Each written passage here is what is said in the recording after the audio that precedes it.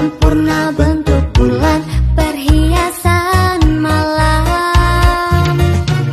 Batang-batang panjang pohon kelapa. Kerang-kerang di pasir putih. Di antara mereka kita duduk berdua menyanyikan lagu cinta.